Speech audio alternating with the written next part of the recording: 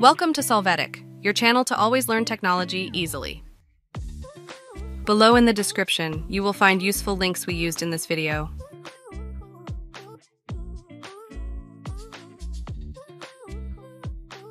Today in Solvetic, we will see how to lock or unlock keyboard on Windows 11.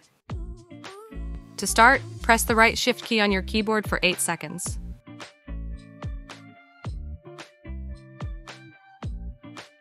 In the pop-up window, click Yes. You can see that your keyboard will have been locked.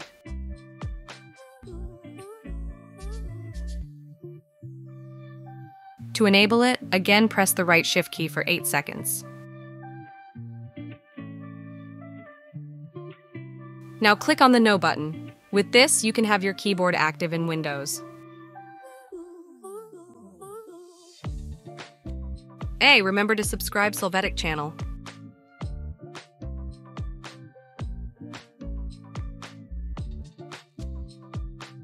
We hope it has been helpful for you. Here are links to watch more videos of your interest and subscribe to the Solvetic channel. Thank you.